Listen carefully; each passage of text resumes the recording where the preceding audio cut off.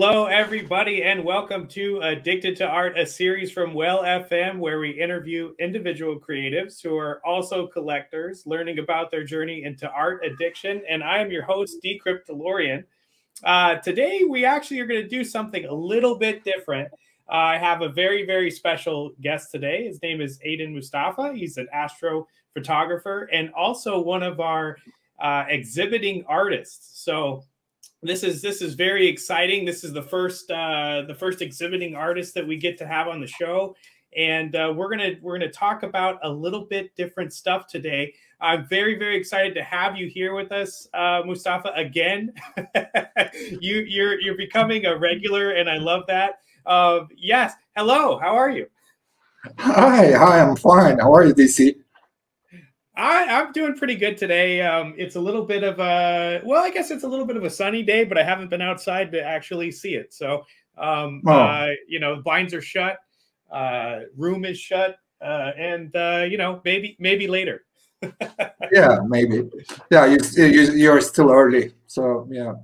But nowadays here in Ankara, in Turkey, it's like cloudy and uh, rainy, but it's not that cold yet. Oh yeah, that's a good. So let's start. Let's start uh, the show. Ask. I want to know what the weather's like right now in uh, in your neck of the woods.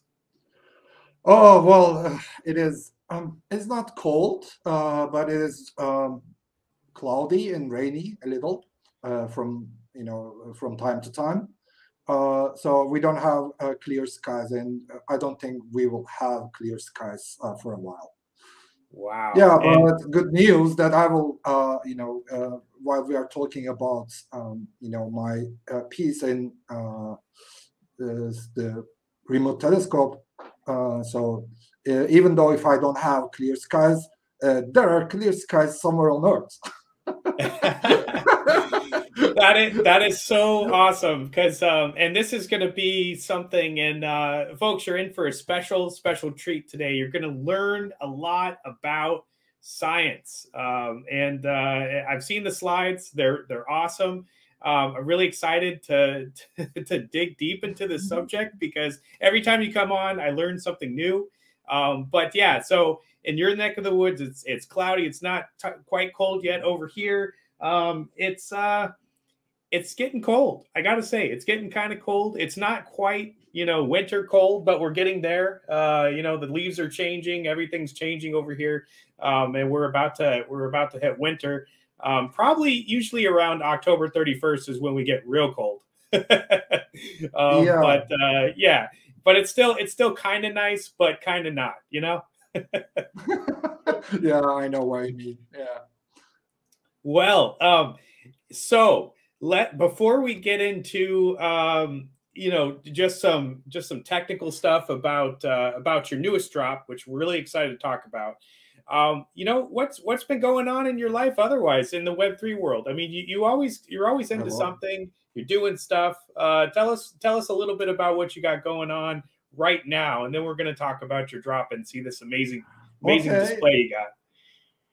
Uh, well, um, you know, nowadays you know in normal life in daily life not much is going on actually. But you know i've been um, you know uh, writing and preparing uh, stuff um, for uh, we're going to talk about it actually uh, with this telescope live that i'm um, uh, their tutor and their uh, judge for their competitions and stuff. So I, I was i've been preparing some video and some you know text for them for their new website and we are also getting ready to prepare some more tutorials for them, uh, me and my uh, friends. Uh, yeah, and uh, today I, I received a phone call from one university in Istanbul. Uh, they are going to have an astrophotography uh, exhibition and also some days that they will invite astrophotographers to talk. So they were also inviting me. So it's kind of exciting. That is very exciting. Yeah, that's um, I, am I'm, I'm kind of excited to see what you do because really anything that you get into, um, it, it's always exciting to see you know what what happens and and what you have going on. And uh, even when you go out and you take your shoots and um, I, I, love watching that stuff. So um, yeah I, I I'm, I'm excited to see where what you do next really. Yeah actually you know uh, i actually wrote it in in the chat i don't know if you saw it but um, there is a new comet uh, you know um, and it is thought to be uh, it's gonna be bright enough to see with binoculars uh, during the first uh, months of uh, 2023. So I got excited because I love comets, and I, uh, you know, I love shooting them. They are a little bit trickier than uh, normal uh, deep space astrophotography. So I really hope that you know it's gonna get really bright, maybe even for naked eye level. So yeah, fingers crossed. Oh, I'm excited to uh, to see that because, um, yeah. It, well, okay. I'm to tell you a funny story, and then we'll get to um, we'll get to your slides. Uh, but I, I, was driving. I was picking up uh, uh, somebody, and I was driving, and I thought I saw a shooting star. And oh. the first thing I thought about was you because I said, "Man, I, I hope I, I wonder if." Uh, Mustafa is if watching. out there watching this, uh, or or maybe he's sending me a sign from somewhere. I guess. Uh, yeah, that was me. Uh, that that was me with the Millennium Falcon, actually. oh, that's that's great. Yeah, and fo- and folks, if you if you don't know um, Mustafa's work, so you're going to know it because he's going to show you in just a second. But uh, he's an astrophotographer, and you know has some of the most amazing shots uh, from uh, from outer space. Um, you know, and and this stuff, uh, he's very excited about it. He's very good at it, and uh, and we, we have the pleasure of having him on for several series. So he, he came and did a talk about it, which is awesome. Uh, we did um, what was the last? We did a we did a camera culture just recently. Um, yeah, and, like and, a month ago or something. Yeah, about a month ago, and um, and this is our like our our special edition uh, for our exhibiting artists. Um, so yeah, if you don't know, you could go back and watch those episodes with Mustafa. Some amazing information there, just uh, absolutely amazing, going over um, the whole process, uh, most of it, and then um, and then the other show was basically, you know, hey, this is this is uh, his work uh, in in a nutshell uh, of what he's been doing throughout the years. Um, but today we are going to talk about uh, the equestrian, the celestial equestrian, which is uh, really really cool. So um, I'm gonna I'm gonna bring up the slide for everybody to look at. Uh, and get ready because this is some intense information uh, that uh, that is always exciting to learn about when uh, when you're talking about astrophotography. If you don't watch this, you are not going to know about all the work that goes into uh, this type of photography. So you need to watch this because this is uh, is stellar, and I do, and that's a great word for this, right? yeah, I cannot think of uh, any better. all right, I, am gonna I'm gonna give the room to you. Um, yeah, go ahead and uh, and tell us all about this. Yeah. Okay. Thank you very much. Um, so, uh, as you know, and maybe some uh, folks that are watching also may know, uh, I got uh, accepted to SuperRare recently. Uh, I was invited uh, by a gallery called Artifact Dots, and I also say hi to them from here for their kindness. Um, so uh, I, I minted one piece, and um, uh, Alpha Trilogy, we, whom I really respect, collected that piece, and it was a very special one also. Uh, but this also is a very, very special one. And we will talk about this one, you know, what we are seeing in this image, uh, what is going on, how it is going on. Uh, but before that, uh, I recently saw um, um, some kind of poll uh, on Twitter. it was asking um, if astrophotography was a fine art. And I actually wrote a quite long answer to that um, I think he was a collector. Uh, and my answer is, you know, of course, uh, astrophotography is a fine art, uh, but also it is a combination of engineering, science, and art. So I will explain one by one why it is engineering.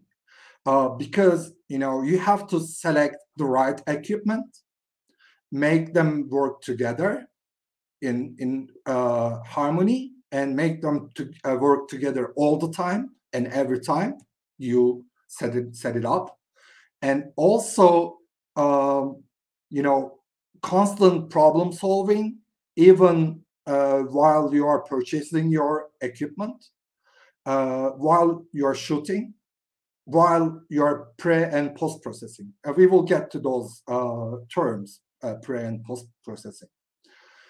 And uh, it is also science because you need to know at least the basics of astronomy and astrophysics, of course, computer sciences, of course, softwares, uh, and of course, um, uh, you know, you have to know your equipment, details of your equipment. You know, astrophotographers know uh, a lot more than other types of photographers about their camera, their sensor, the uh, types of noise and everything. And this is the science part.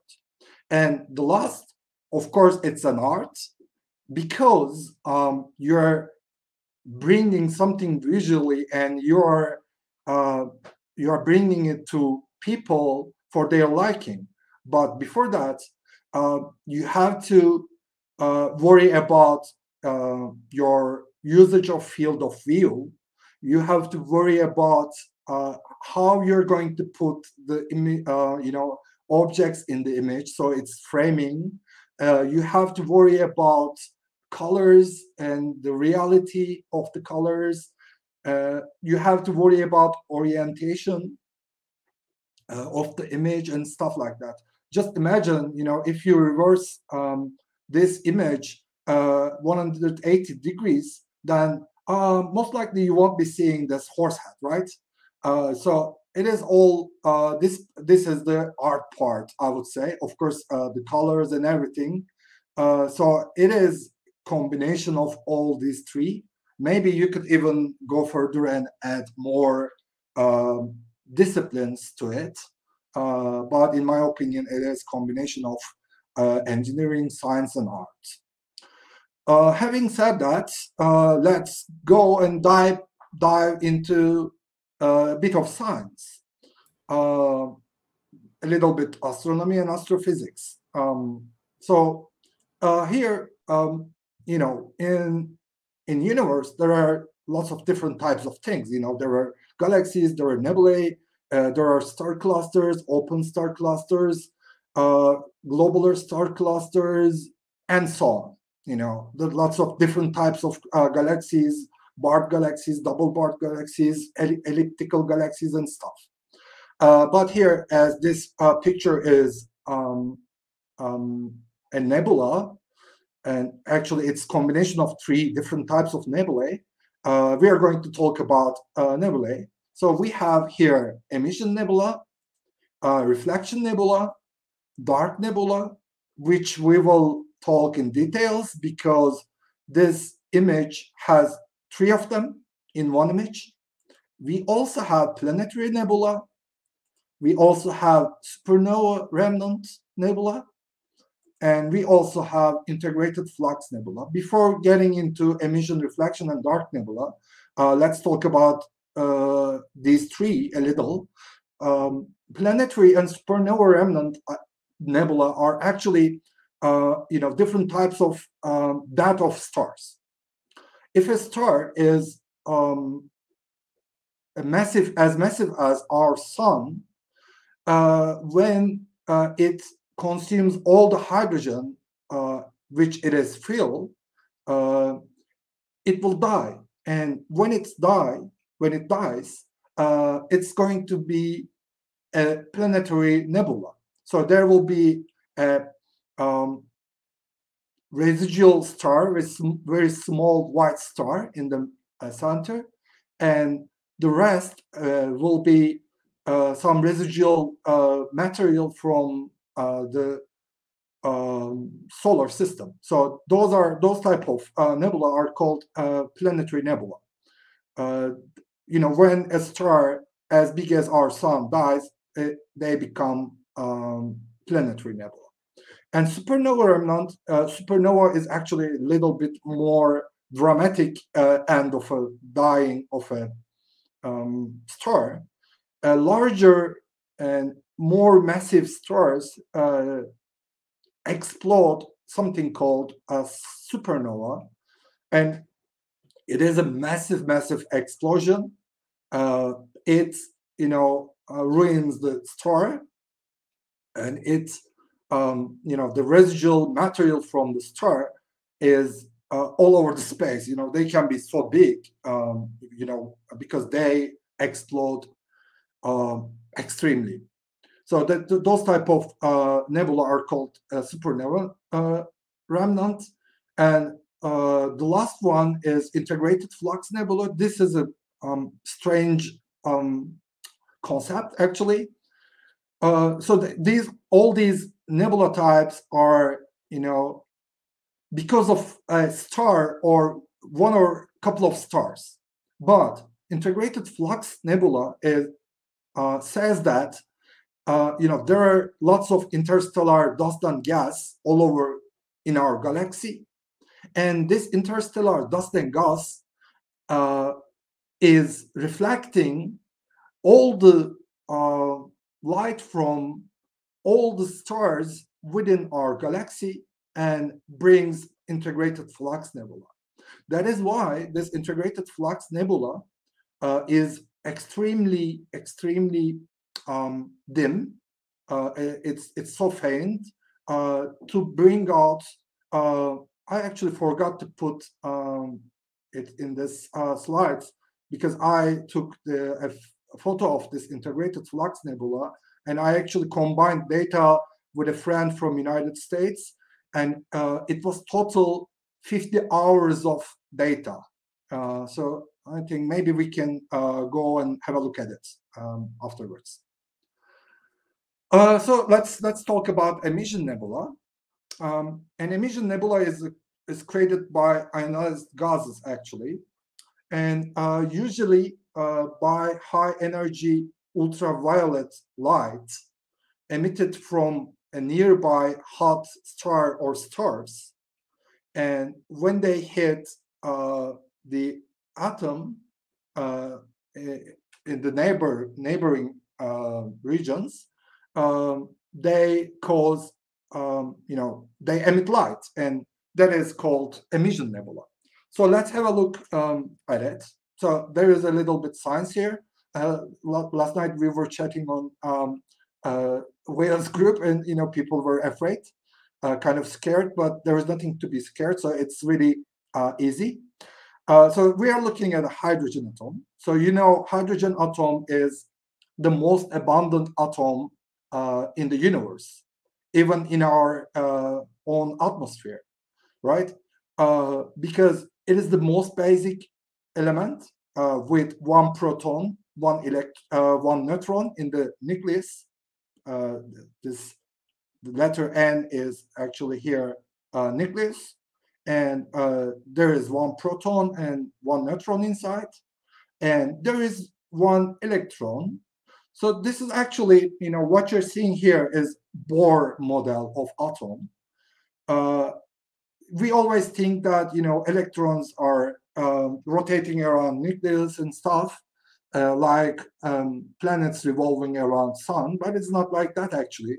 There are energy levels around the nucleus, and you can see here uh, N1, N2, N3 are the different energy levels. And um, these electrons or this electron can be in one of the uh, energy level. So uh, what we said, um, you know, if there is a nearby star, and if the, these stars are, um, if this star or these stars are energetic young stars, they will be emitting lots of uh, ultraviolet lights. And photons from uh, this UV light, it, it is a light actually, so they are also photons, right? So they come and hit this hydrogen atom. Actually, they hit to this electron. Uh, so you know you uh, you add some energy to the system. So when you uh, when these UV photons hit this atom, this electron will go from first energy level to third energy level, and then it will come back to second energy level because it will lose some of its energy uh, emitting a photon. So let's watch it again. Oops. Oops. Wrong direction. So UV photons comes, hits the atom, and this electron is excited by this uh, UV photons energy, and it goes to upper energy level and comes back to lower energy level because everything on universe uh, wants to be wants to have less energy. Everything wants to have less energy. Uh, for instance if you drop something it will go and fall uh, because it will have a potential energy and it will want to have less energy uh, by dropping. So that's the rule of uh, universe right? Uh, for this hydrogen atom, um, specifically, this uh, photon emitted is uh, has a wavelength of 660 56 nanometers, and that is why we call this hydrogen alpha or H2 regions, because uh, as you will know, as you will remember, it was at energy level one uh, in the first place, then now it's at the second level. So this hydrogen atom is again hydrogen atom, but it is a little different hydrogen atom than before. And uh, you know, this I typed these letters in red on purpose, and this uh, arrow on purpose, because this 656 nanometer light is red light. And we will see uh, in the image uh, now. Uh, so if this happens uh, for lots of hydrogen atoms around, this is what happens. See, there is lots of red region here. So this is called uh, IC 434 nebula, and also it's an emission nebula. Uh, so what is why it is IC 434? You will see uh, in the coming slides uh, different letters and different uh, numbers. These are actually uh, some catalogs that are created to catalog deep space objects. And there are lots of catalogs like this. One of the most famous one is Messier catalog, which was um, created by Charles Messier, a French astronomer in uh, 18th century. There's NGC catalog, there's IC catalog, there's LDN catalog, there's LBN catalog, uh, Barnard catalog, and so on. Um, so when you see uh, this type of thing in front of a nebula, uh, then you will know it's a uh, catalog, uh, name and number. So here we have um, IC 434. Uh, so this region you're looking at is lots of hydrogen atom atoms are excited by a nearby star uh, UV photons. And this IC uh, 434 is a bright emission nebula uh, in the constellation of Orion. And uh, we will have a look at it uh, actually now after this slide uh, because I want to show where these three nebula in this image located in a night sky. And you can actually go out and see, uh, you, of course, you cannot see this uh, nebula, but you can you will see the star uh, nearby uh, these three nebula. In the constellation of Orion, and um, like I said, you know, there are lots of young and energetic stars around, ionizing the hydrogen atoms uh, around here. And it's a part of very big molecular clouds. Uh, so yeah, let's go and see. So this is um, uh, in one of our uh, classes actually with whales. Uh, we actually went through uh, this program. It's called Stellarium, and it is totally free for PCs, for um, Windows operating system, for Mac, and for also other types of operating systems. So this is actually um, very nice um, um, way of seeing uh, what we have in the night sky at the moment. So uh, you can go and uh, choose, oops. Oh, um, so, uh, because I'm sharing uh, two uh, screens, it doesn't let me have the um, menu here, but I will I will just uh, go a little further in time that you can do. So you're you're going into the future right now. Uh, yes, how, how this and, is going to line up. Uh, yeah, and actually, you can see that you know uh, it is by default Earth Ankara, so it, it is the elevation is 874 meter. So it's showing here uh, on uh, left bottom. So, uh, you know, just imagine you're in Ankara, Uh, you're seeing the sky like this. So uh, because Orion uh, constellation goes up a little later at night, I will I will go to 1 a.m. So here it is. This is Orion Nebula, uh, sorry, Orion constellation, and it is really prominent even uh, within the um, you know big cities with lots of light pollution. You can make sure that you will see these three stars because they are so bright.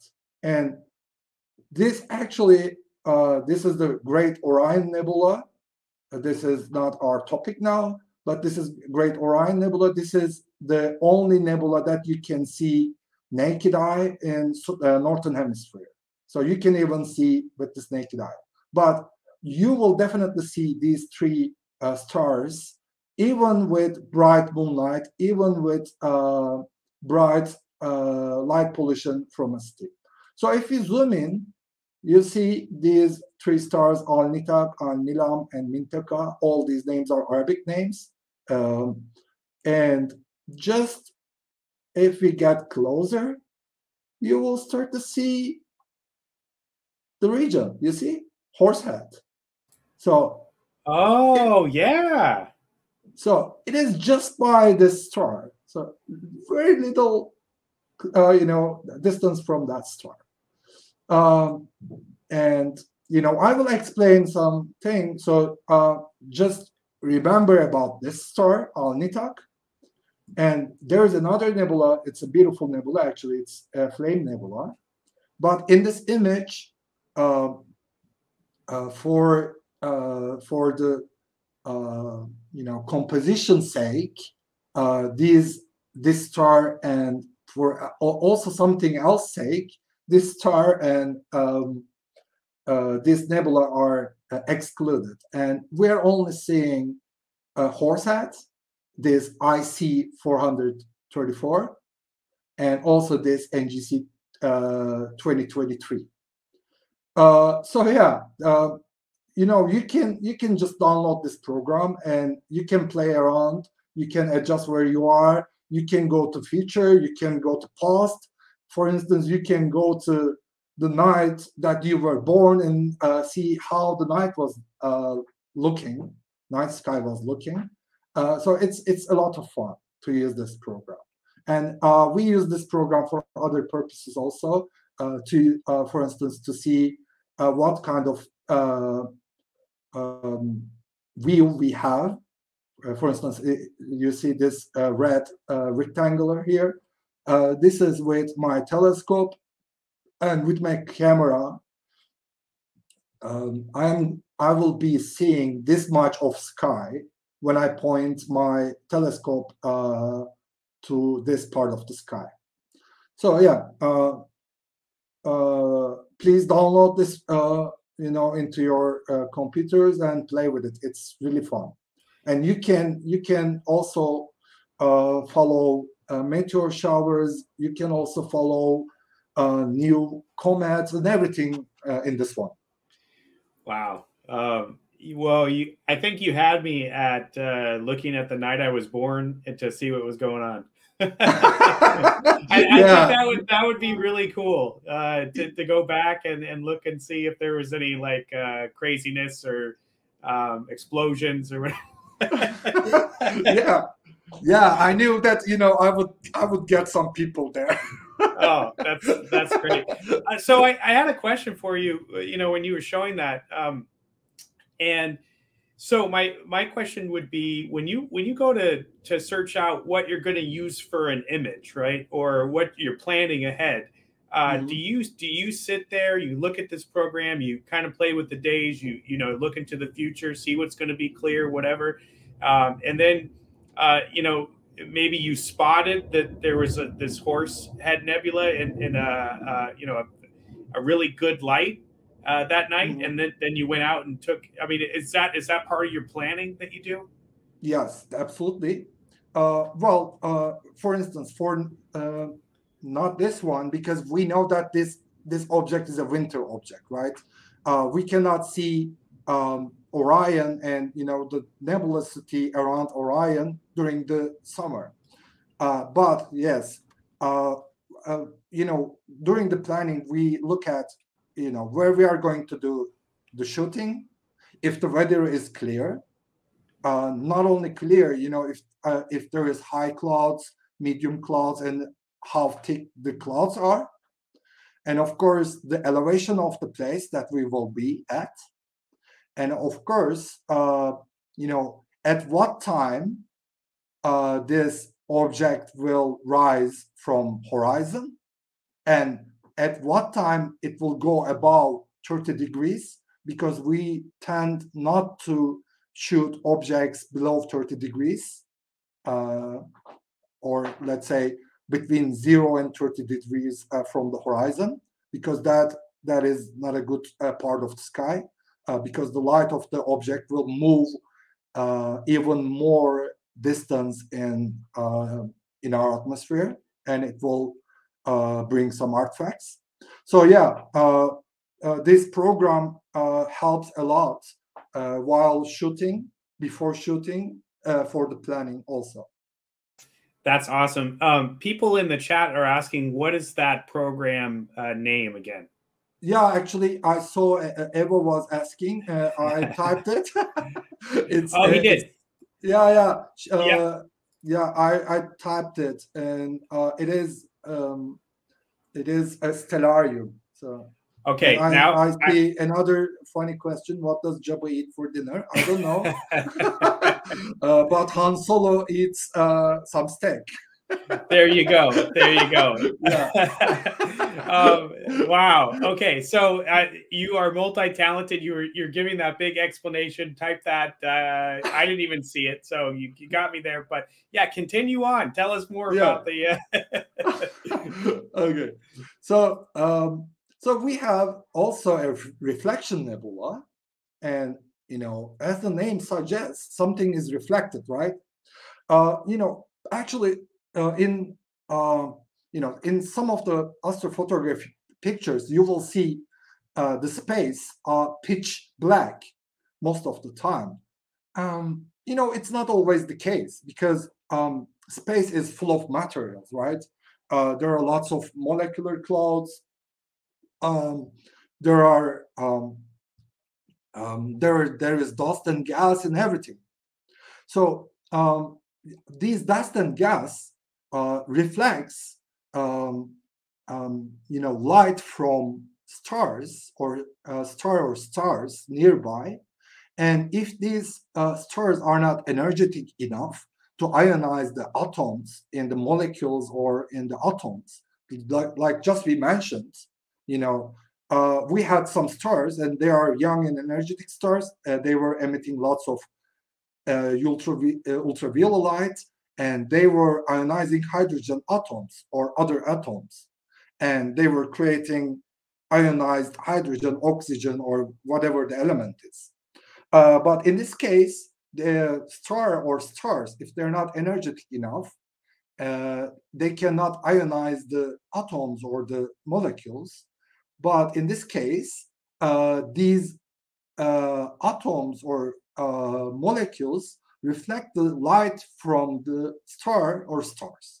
So this is uh, this is a reflection nebula, uh, and we see here uh, you see there's another one, NGC 2023. This is a very you know large um, uh, catalog. It's called New Generic Catalog.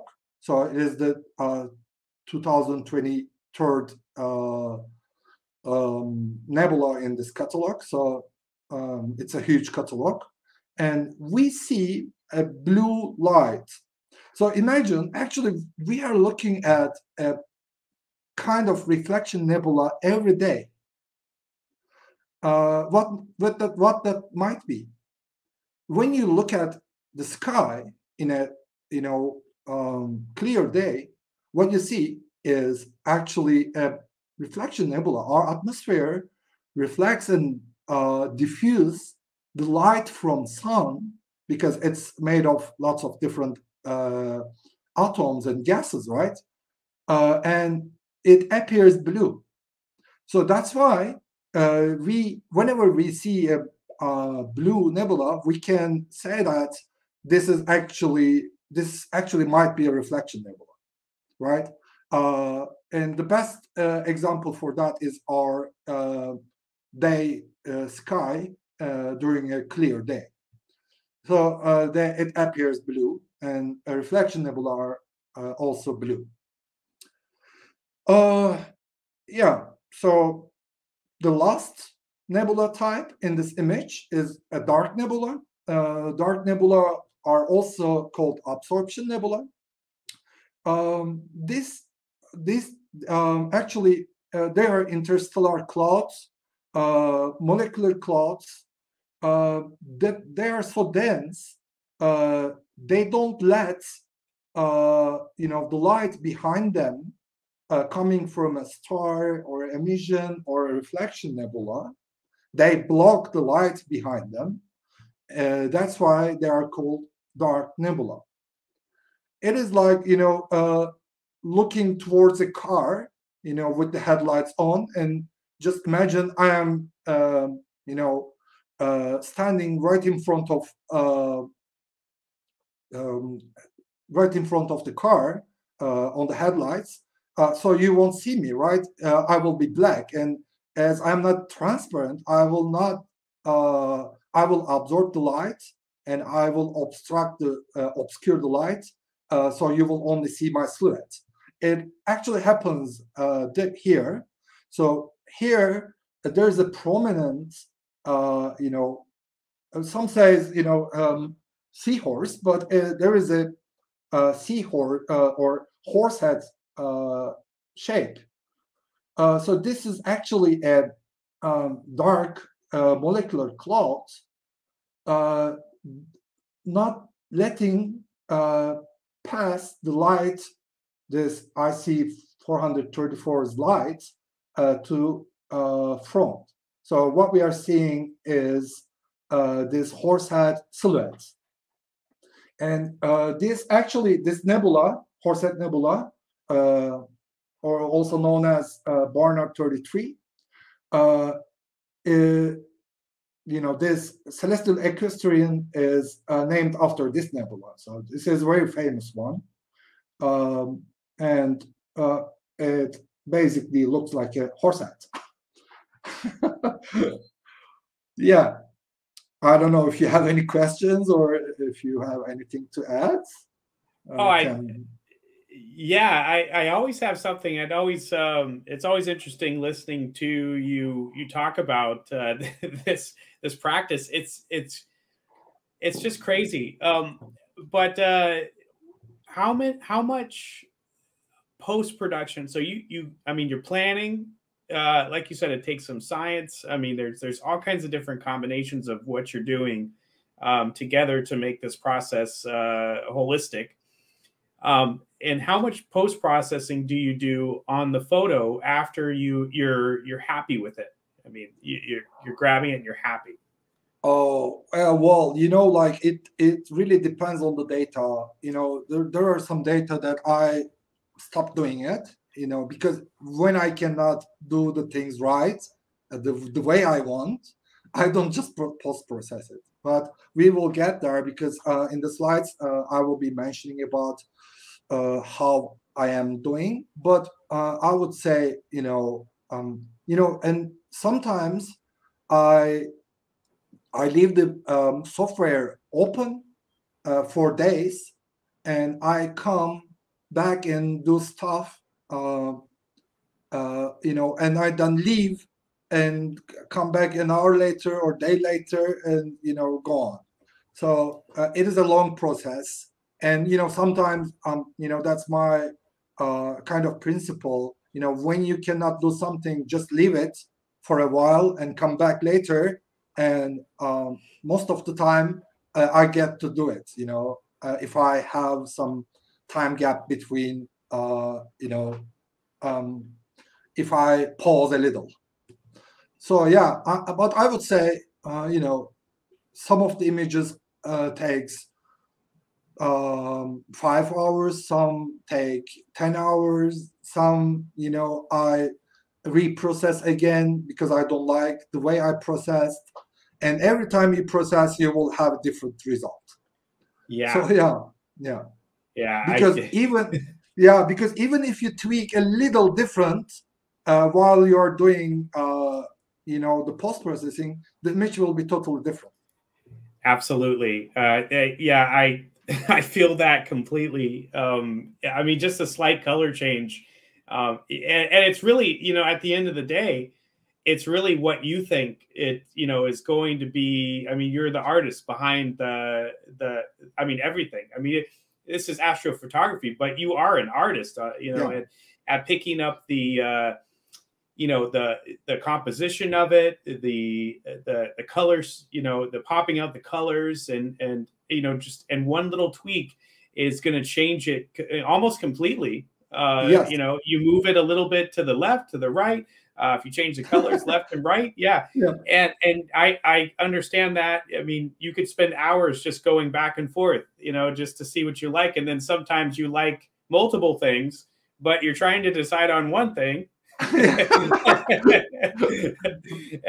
but yeah, I mean, I, I think that you um, you nailed it with this piece. Honestly, I, am looking at it on my screen uh, as well as the uh, the you know the stream here but uh, yeah, you, you, totally nailed it. So I'm gonna I'm gonna let you keep going, uh, but I, I will have some questions at the end here. yeah, sure. So um, yeah, so we also talked about dark nebula. So like I said, you know, there are basically uh, six different types of uh, nebula, and uh, this image has uh, you know 50%. So three of them in one image: uh, emission nebula, reflection nebula, and the dark nebula. Uh, so there is another uh, thing which is very prominent in this picture, and you know you can see uh, these stars have like you know are like crosses, right? So this star, this star, and the larger the star, uh, the larger the cross is. And you can also see, I don't know if he is watching, my dear uh, brother Arman, uh, when he saw this piece, he was like, "Oh, Mustafa, what is this? There's there's something coming out of here." Remember the star I showed you Alnitak? I told you not to forget about it, right? Uh, so these light rays are actually star spikes from Alnitak. It's so bright. It's so bright. That's why it was left out uh, of the image because once you get that uh, image, um, uh, you know, there, there is a um, uh, there is a concept called uh, high dynamic range, the dynamic range in photography, and I'm sure most of our uh, photographer friends will know about it. So it, it is the difference between the uh, brightest and faintest part of the image, not only about astrophotography, but for all types of photography, is called a dynamic range. So when you add that star into this picture, you're enlarging the um, you're enlarging the dynamic range very very wide. There's something very very bright, and there's something very very faint. So it makes almost impossible uh, to shoot. Not impossible, but it's it makes really hard to shoot this image. But of course, there are um, you know uh, techniques to eliminate that um, uh, that you can uh, shoot shorter uh, exposures for the star and longer exposure for the faint parts and combine them as a high dynamic range image and stuff like that. But um, for this image, uh, that very, very bright star left out of the frame on purpose. But uh, still, we have these uh, diffraction spikes from, uh, from the star. But here, also in the small stars, uh, relatively smaller stars, we have star spikes. What are these?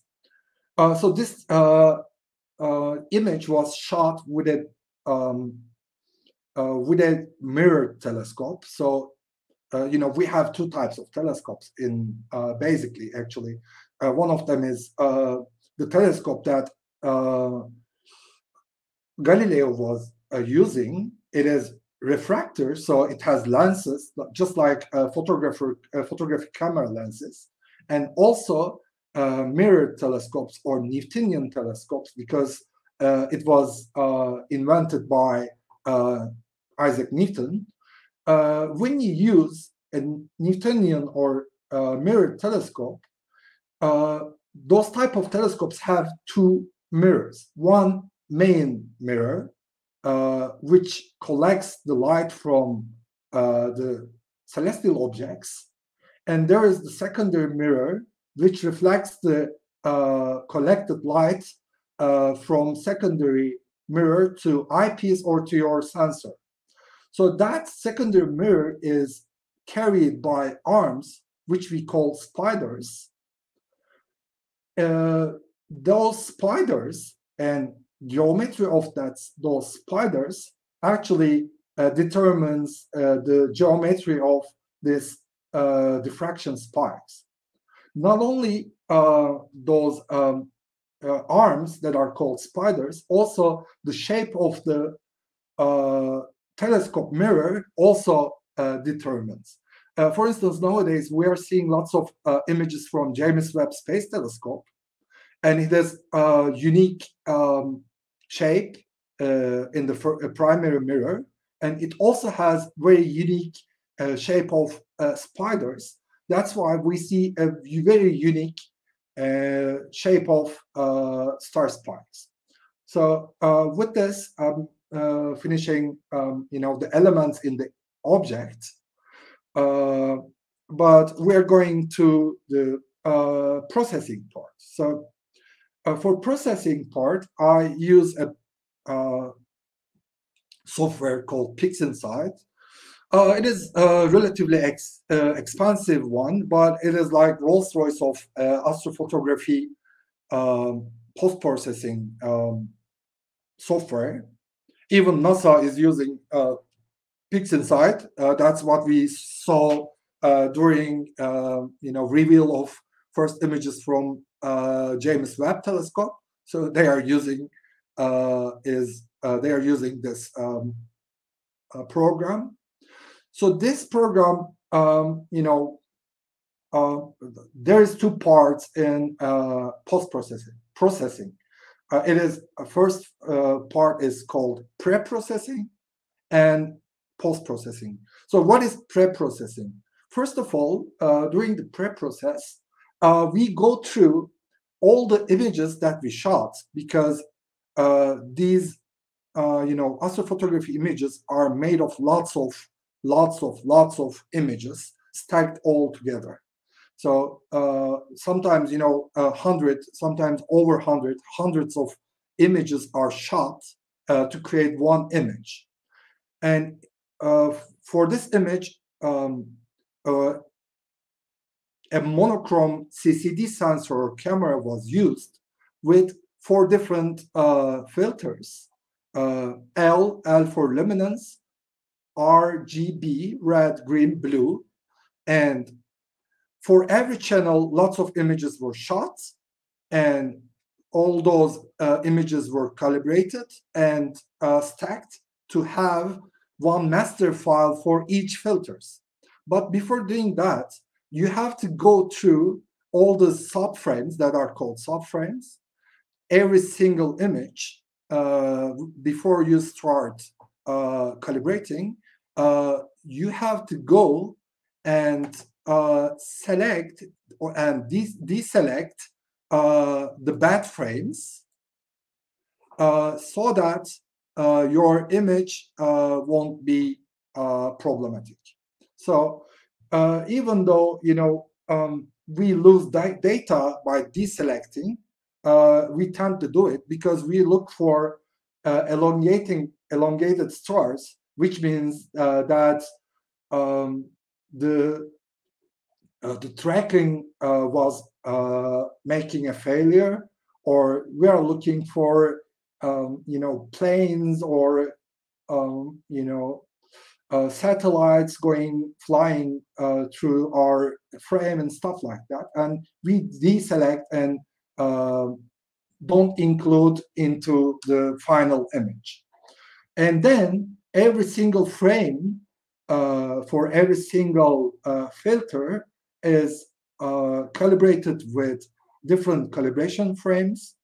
And most of the time, they are called uh, dark frames, uh, bias frames, and uh, flat frames. And uh, those frames are used uh, for eliminating different unwanted artifacts or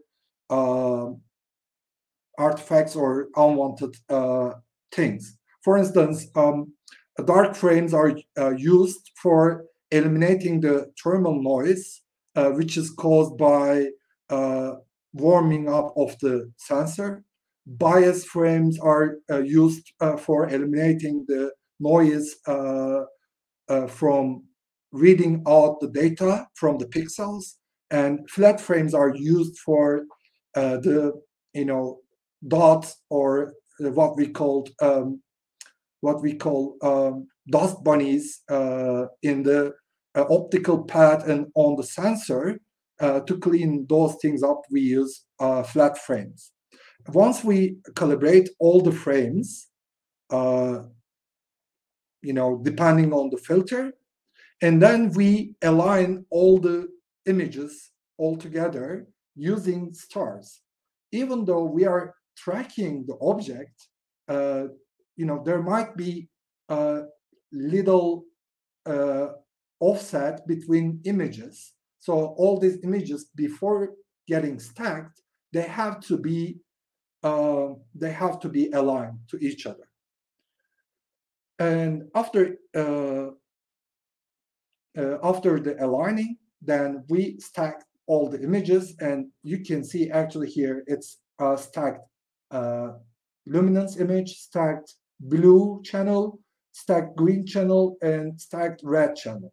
And what you're seeing is here, here is the uh, you know PixInsight um, interface. Uh, these are the um, uh, this is actually the um, workflow that I created and I mastered uh, uh, you know within years. Uh, so when I am um, you know, post-processing an LRGB image. This is called LRGB because it's made of three, four different um, uh, filters. Uh, when I'm creating creating an LRGB image, I follow this um, workflow, and you can uh, change and uh, you can save this um, uh, workflow and use it after for similar image. So uh, this, um, you know, makes uh, just you can just imagine something like actions in uh, Photoshop, but it's not quite the same. Uh, but it's um, something like that. So you can create your workflow and you can save, you can change, uh, you can keep uh, the you know parameters and stuff like that. So um, let's move on. So you're here looking at um, single 600 seconds luminance frame. And here, your uh, this uh, this frame is uh, uh, calibrated with calibration frames, but only one frame. So it is only 600 seconds.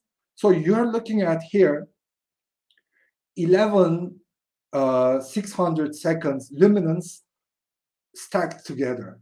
I don't know if it's clear from your screens, but I can see that this image is uh, much noisier than this one. And you can also see the detail uh, and um, you know signal is quite increased in this image.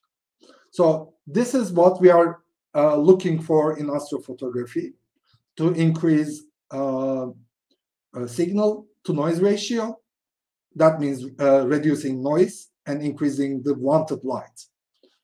Uh, yeah, and uh, maybe we can also say something about luminance. Luminance is actually the brightness data uh, from the object.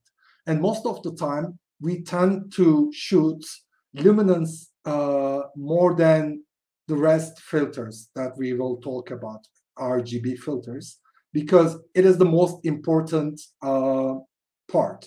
So when we have this stacked image, uh, we will, before combining it to an RGB image, uh, we will uh, post-process a little uh, all these four uh, channels differently. But for luminance channel, we will do lots of work actually. We will first crop equally all four images. And then uh, we will uh, we will equalize the uh, background uh, because most of the time, because of maybe a, you know moonlight or a light from coming from a car or your neighbor's light, uh, you may have some uh, gradients in the background. So you have to you have to fix it. But uh, for these type of images, especially uh, which has uh, nebulosity from corner to corner, it's even more trickier uh, to uh, fix that background uh, um, gradients. So th that's what we do first. And then for this luminance channel only, uh, we uh, do something called deconvolution, which is actually reverse engineering of uh, convolution, which is the atmospheric effect. Uh, what is atmospheric effect? When this light uh, coming from the celestial object, it goes through all the atmosphere, right?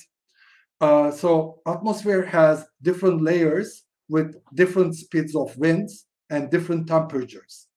And this distorts the light coming from the stars and also the celestial objects. And that is not something we want. So we use this deconvolution uh, method, uh, which may take well over an hour itself. It's one, uh, you know, uh, process within the whole post process. So it may take well over an hour because you have to create uh, what we called uh, star profile. Uh, we have to create different masks to protect different parts of the image and so that uh, the, the convolution uh, only is uh, only affects the uh, nebulosity and the stars that we want. So uh, in astrophotography, you know, I always say, um, and this deconvolution is made in um, iterations. Uh, instead of making one big smash, we always do it little by little. Uh, so that's what we are, that, that's what I was saying actually. You know, if you tweak uh, one slider all the way, you know, the artifacts that you will get will uh, be you know huge at the end you know at the end of the post process. So that's why we use iterations. And this iterate uh, also the convolution also uses uh, iterations at this 20 to 50 sometimes 100 iterations. Uh, that needs uh, you know patience time and uh, also computing power.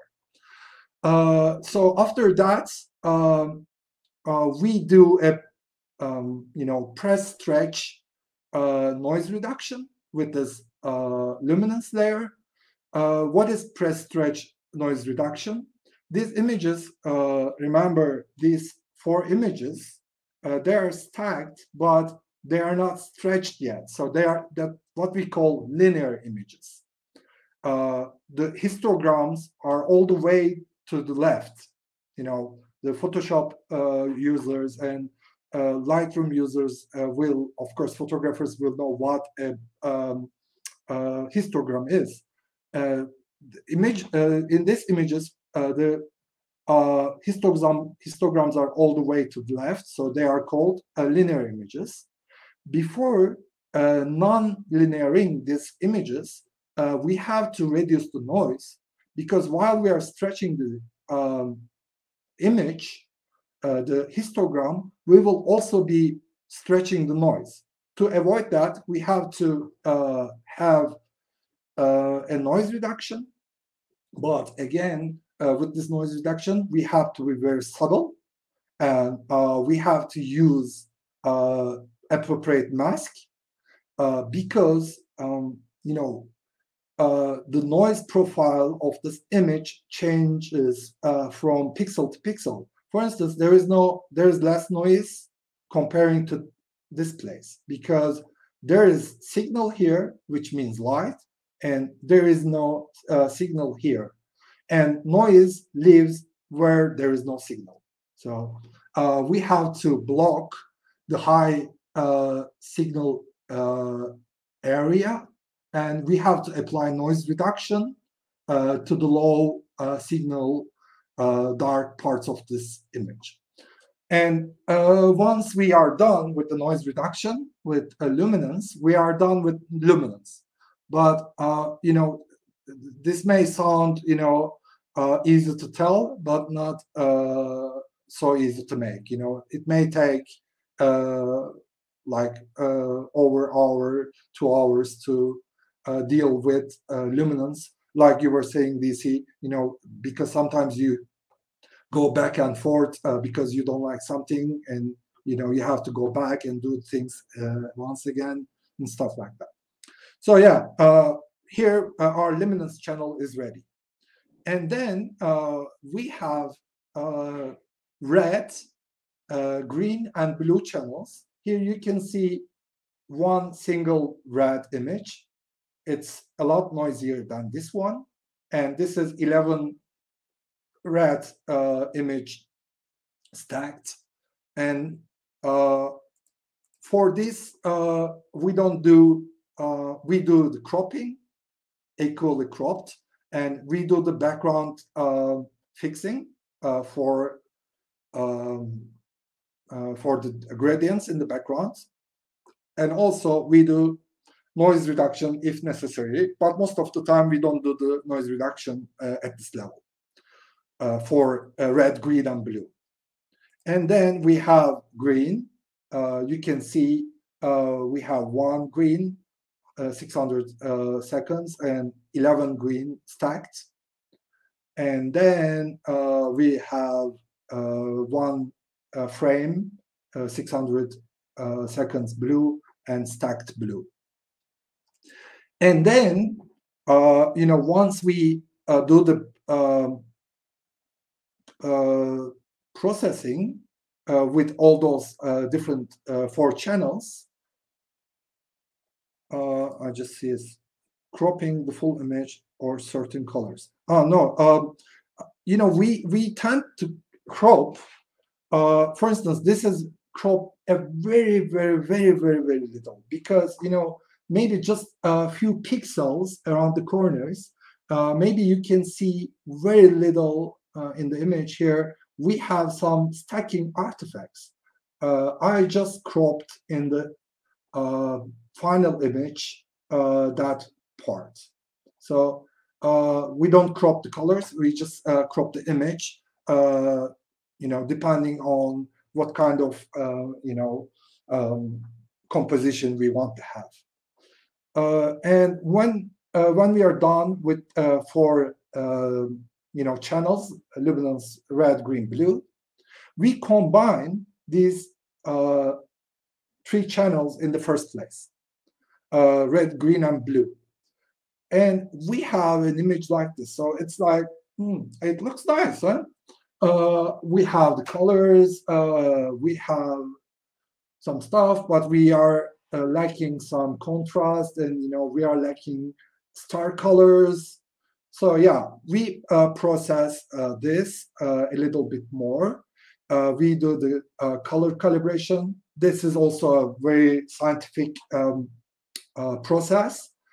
this PixInsight uses some data from some universities to calibrate the colors uh, looking, you know, um, having, uh, you know, um, calculating the, you know, um, calculating this image and uh, where is this image and um, having data from um, the database uh, corrects uh, the um, colors. And then uh, we do a pre uh, stretch uh, noise reduction again. And we do a little bit of contrast and we do a little bit of colors. But then we add luminance on top of it. And you can tell the difference, right? Um, um, you know, there's lots of lots of details and there's lots more color and uh, lots more light came to it. And after adding the luminance, we go and uh, again uh, do some more steps, uh, maybe looking um, at some colors. Uh, we use lots of masks. For instance, we can use color masks um, to uh, block everything else, but uh, do things on blue, block everything else, but do things on um, red block everything else and do things on uh, stars or background and uh, you know uh, final tweaks and then uh, this is actually the final image uh, after adding luminance uh, i tweaked all the necessary stuff and yeah this is you know not the whole post processing of course steps, but uh, it's more or less like this, you know. Um, from here, I will go to uh, the equipment and the observatory that I use uh, remotely. But if you have any questions or something to add, or I don't know if, if I should go on. No, keep going. And uh, I just want to say that the, that that was a fantastic explanation. And honestly, the the picture looks amazing after. Uh, yeah, I mean, look at that with the luminance added. Fantastic. But yeah, keep yeah. going. yeah, thank you. Okay. Uh, yeah, so um, having said that, um, you know, this is, uh, we are looking at an observatory called LSOS, Sauce Observatory, on, in other ways. I don't know if Vic and uh, Andrew are watching, so they like food. so this is Sauce uh, Observatory located in uh, Chile, Atacama uh, Desert. Um, and its elevation is 1500 uh, meters uh, from the sea level. And as you may know, uh, Atacama Desert is the driest place on Earth. And this observatory has 320 days clear nights per year. So it's basically 45 uh, nights, you know, clouds. So just imagine uh, 200, sorry, 320 nights per year. clear skies. Uh, yeah, so there are lots of uh, telescopes here uh, that uh, also uh, that can be used for scientific purposes also, uh, but also for astrophotography purposes. here, you know, you can see some domes, and you can also see this sliding roof. That's what we call sliding roof. This building has lots of telescopes in it, and actually the telescope uh, used to shoot this uh, image is also in there. So in this uh, under this sliding roof. Uh, so yeah, um, it is uh, high above uh, the sea, and it is chosen on purpose. Like I said, it's the driest place on Earth.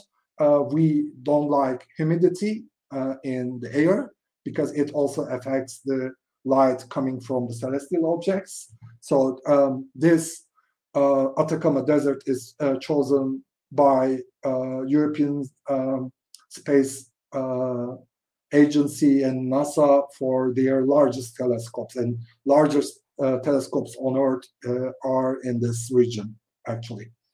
And they also have um, they have they also have access to southern skies, which is different than our northern skies. I mean, I don't know if anybody there uh, is from southern hemisphere. Uh, they see the sky different than what we see. Uh, so yeah, this is the beast uh, that uh, was used to capture that image. So uh, as you can see, it is a mirrored telescope. you see, I don't know if you can see the pointer, uh, there is a large mirror uh, right here under this white hood. Uh, it is 24 inches or uh, 61 centimeters of um, uh, mirror, and you can see there is there is the secondary mirror, and this is what I was talking about: the spider arms that holding the secondary mirror, and collected light reflects from the um, primary mirror, comes to secondary mirror, and then you see this black thing here. There's a hole inside, and it comes to this black thing here is the sensor, the camera, the CCD sensor. And this uh, piece is called, um, you know, um, this is a fork mount so it looks like a fork. That's why it's called fork mount. And this uh, this tracks the uh, night sky so that we can have 600 seconds uh, exposures without having elongated stars. So it tracks the night sky as uh, Earth rotates uh, to have very accurate images. Yeah, so um, I access this uh, this observatory and uh, this telescope and other telescopes via a service called Telescope Live, and it's their website you're seeing here. Um, um, so you can you can actually uh, access the telescopes here in Chile. Uh, there are other telescopes uh, in Spain, and there are other telescopes uh, in Australia. Uh, you know, some of them are refractor telescopes, some of them are larger, some of them are smaller uh, for different purposes and with different uh, cameras and different filters, of course. Um, so th this telescope live, um, I am their brand ambassador, their tutor, uh, also their judge uh, for um, their monthly um, uh, monthly competitions, image post processing competitions, and also they are going to um, launch a very new competition uh, for astrophotography very soon. Uh, I will also be a judge there. So um, me and uh, my friends, you can see the stellar experiences here. Uh, we actually mentioned about this in a, uh, in one of our um, programs with DC. Uh, so that this is a company that I and three, two other friends of mine uh, founded. Uh, we are aiming uh, professional um, experiences and courses on astrophotography. And we are creating tutorials. Uh, we are creating uh, wide field astrophotography data uh, for Telescope Live. And we are also creating tutorials for the website. And Telescope Live nowadays are renewing their websites and we are planning new tutorials and um, new classes and new articles very soon. Um, so yeah, this is one of the tutorials that we created. it is how to shoot Milky Way. So we were explaining equipment planning and shooting settings. Um, there's a 27 minutes long um, tutorial and there's another tutorial uh, how to process Milky Way photos. Uh, and there will be more very soon. So yeah, uh, um, that that is it.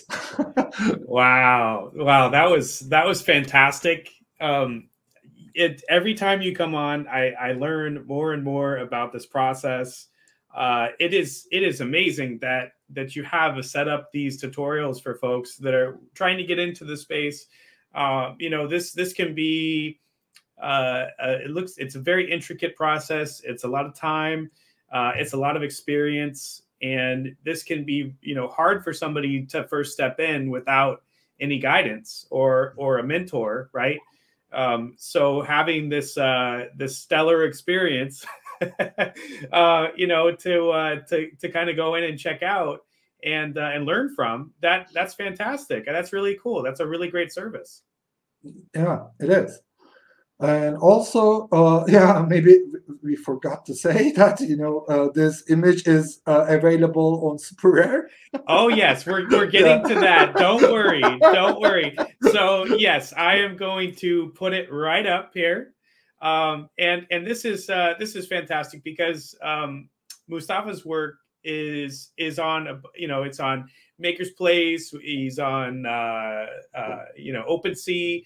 Uh, but uh, this new image is, and and you've been learning all about it, which is fantastic. Everybody can walk away from here um, learning about the entire process, and that's really the experience. Um, it, it, gives you a lot of uh, uh, what am I trying to say? It gives you a lot of respect for the process, really um, the luminescence, the uh, the different colors, the the captures, um, you know, the grains that that has to be taken out of these images, um, the planning that has to go into it, and to see the finished result is just um, is just stunning. And honestly, um, it is it is absolutely beautiful. This this perspective, um, the, you know, the colors, the light coming in from the side, uh, you know, the uh, the uh, the highlights or um, glows of of the actual horse head um, and the and the you know stars around it. I mean, it's just everything kind of pops. It's just a fantastic image, and uh, we we definitely have a better respect for the whole process now that we watched uh,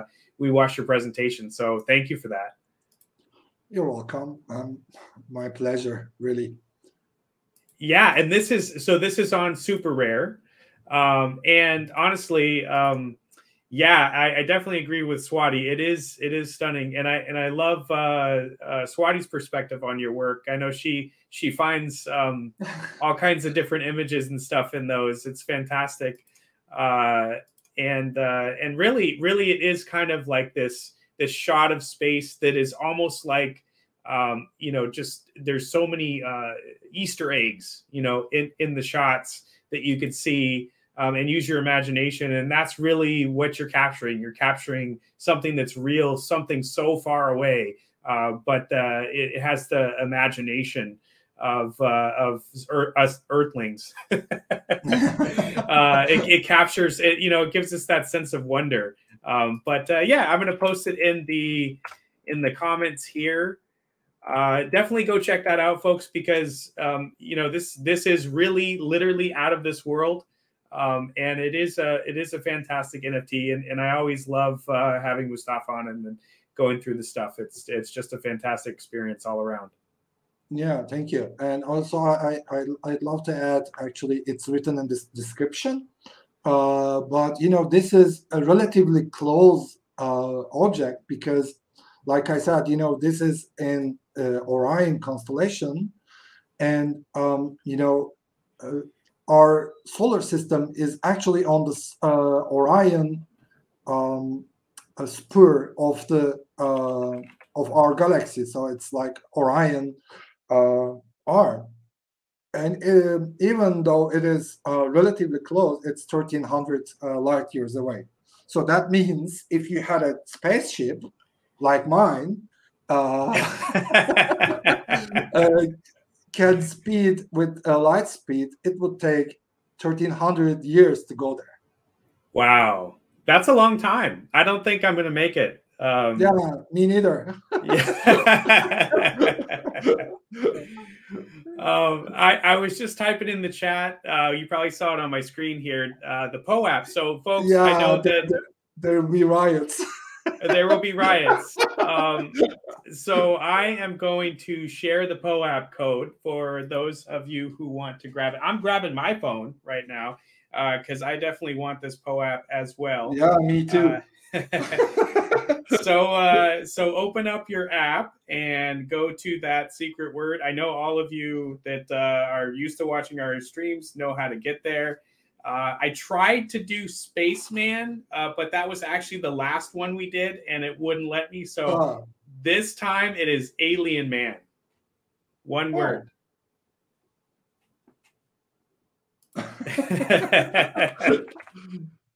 okay. Yes, I minted mine. All right. Yes. Uh, that's it's it, it said it's taking wow. a while, but I I think I got it. I think I got it. So Alien Man, folks, uh, that uh, you know have the app open, ready to get that POAP. It is Alien Man, one word. Um, wow, this wow, uh... wow, it's it's fantastic. Oh yes, look at that. Uh, we're getting folks that have are getting it. It is really good. Um, yeah, it is. It's going like hotcakes. So I'm glad. Um, man, this has been oh. fantastic. Oh. Uh, yeah, I'm, I, yeah. Anyways, trouble also did that. Alien Man, uh, Andrew. I yeah, I tried to do Spaceman, but um, yeah, it was late last night, so yeah,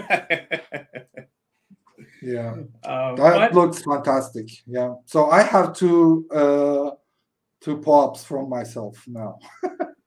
yeah, yeah.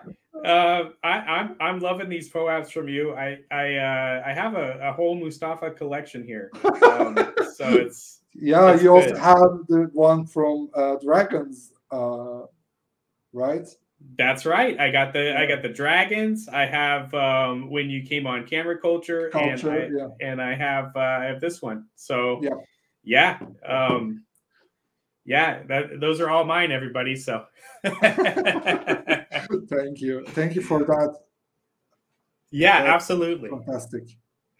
Well, um, this has been fantastic uh, any parting words for the viewers because we're, we're hearing a lot of win saturns um, that's been oh. popping up the chat yeah, um, you know um, maybe you could give us a, a little brief uh, what's next and then we'll uh, we'll be on our way but uh, yeah tell tell us what's next for mustafa. Oh uh, well yeah for sure. What is next? You know uh the you know uh very short term uh, goal is to sell this one and uh, go on with other pieces. Uh, you know, when um, uh, Handro's question, when Saturn, I don't know really, because I'm not a, you know, uh, planetary astrophotography guy, but I promise I will do it for him. I promise. So um, yeah, for next, you know, of course, I will do uh, more stuff. Like I said, you know, I will create more tutorials uh, for uh, Telescope Live. Uh, I will go speak in you know some uh, events like I mentioned in the beginning, uh, and of course I will be here with you guys in whale community, and you know I will live the fullest um, this uh, three months of exhibiting artists and hoping to be um, um, a resident artist. wow, that's that's fantastic. Yeah, um, that uh, we we love having you as an exhibiting artist, and honestly, um, your work always gives us a, a sense of wonder. Um, so you know, whoever whoever grabs this piece is going to be very lucky. Uh, because like you said, you know, if we if we jumped in a, a ship, we would be there. Uh, well, we would never get there. yeah, and uh, you know, yeah, and I also want to say something. Um, you know, I will offer uh, if you can uh, share my Twitter page. Uh, you know, for the one who uh, collects this, I will separately send, uh, a, you know, a banner Oh, okay. Um, wow, that's okay, everybody. You heard that. If you collect this work, uh, you will get a banner. Um, yeah. and we don't we don't know what it is. It's a it's a secret banner. Um, but you'll get a banner. That's awesome. Yeah, yeah. And also, you know, I, I don't want to, you know, uh, say it out loud, uh, but you know, I'm going to, uh, you know, make a donation uh, uh, for a friend also when I uh, sell this one. Um, so hopefully, um, I to help little kids, you know. I love that. I love that. Uh, Mustafa, you're such a great guy. I, I, I love it every time you come on, and uh, it, it is always a lot of fun. And uh, yeah. we, you, oh, go ahead. uh, actually, you know, uh, last night I, you know, I was watching just another uh, pumpkin um, uh, space last night. Uh, of course, not night uh, with my time, and he was talking about, um, he was talking about uh, Draconid and other meteor showers. I thought maybe we could we could do some special spaces uh, when there are um, special occasions in the night sky uh, in Whale Discord. I don't know. We can talk about it later, maybe. But you know, that uh, came up to my mind last night.